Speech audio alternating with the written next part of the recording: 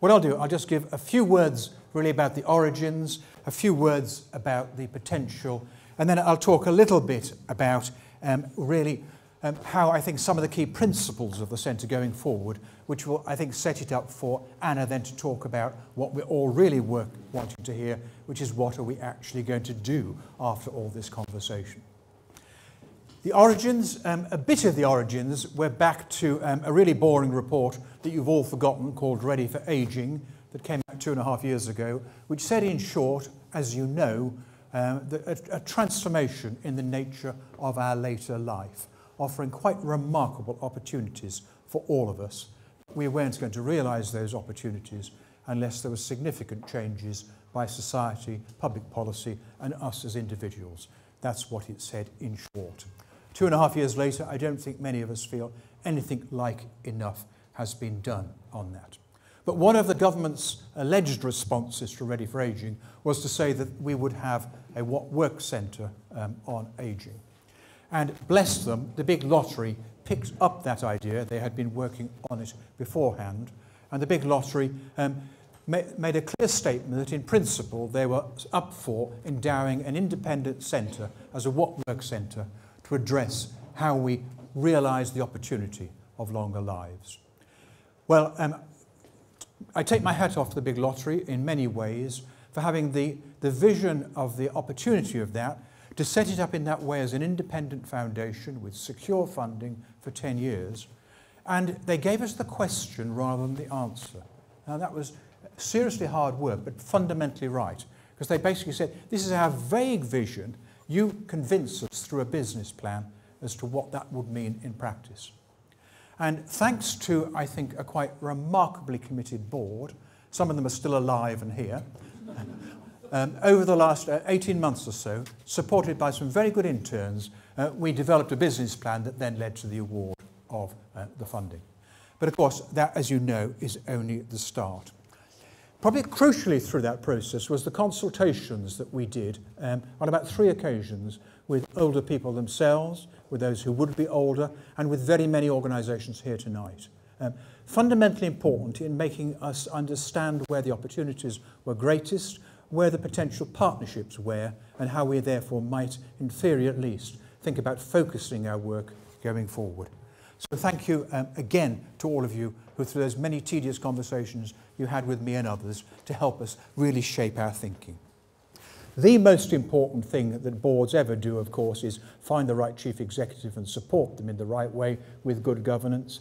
And I think we are pretty certain we've got that. The board is delighted that we've appointed Anna. She's only been here three months, but it feels as if she's been here about a year. And we expect this rate of speed for the rest of her tenure, don't we, Cheryl?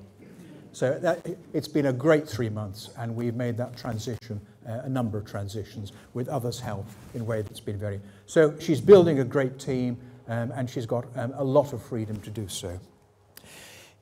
The other thing I want to talk about um, is just to go back to what I was discussing earlier, which was the ambition of a centre at one level is completely ridiculous. For, us, for a micro-organisation to say that it's going to seek to have an influence on improving well-being in later life, when that's about a third of the population, is completely bonkers, isn't it? How could you possibly think with that sort of turnover you could turn that big wheel? Well, at one level it is, um, but the answer, I think, to that is that it won't be totally impossible if we actually develop how we partner with you.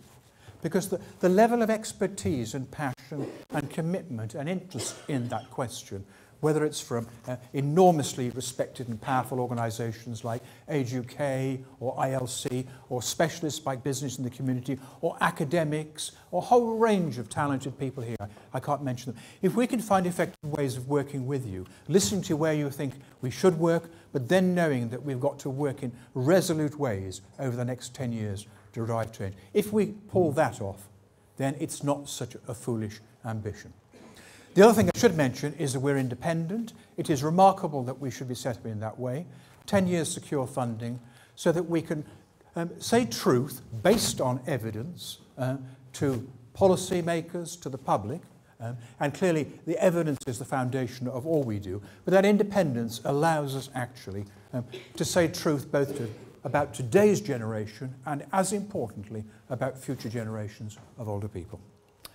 We've last the five principles. I'll rattle through them. You'll see them on slides. Driven by evidence. Evidence is the foundation uh, of what we do, what we bring. But it's evidence for a purpose. The goal is to bring about change, working with others to do so. Um, the independence will allow us to go into areas which need to be looked at, which are probably too hot or too difficult for others maybe to handle in time. Don't expect that immediately. We've got to find our feet. But it's a great asset to have that. And the collaboration, which I don't need to repeat, is what I said a minute ago about partnerships. Those four are fundamental principles the board has affirmed and are part of our documentation. The fifth one um, is essentially starting with the person. And it's the most important issue of all. How we start, we're not primarily a public policy organisation, although we will go into public policy. Our focus is how do we help individuals to have a better later life, and then we go from that point onto what does that imply in terms of changes. And so um, consulting with and listening to older people and having that embedded in our work is fundamental as we go forward. But it also led to us realizing we had to capture the evidence of how older people define well-being in later life, and James Goodwin helped with that on us 18 months or so ago. But we then asked Ipsos Mori to work with us over the last six or nine months to go into detail on how can we really unpack what makes for a better later life, uh, put in my language, who is happy and who's not in later life, and what seems to determine whether people are happy or not in later life.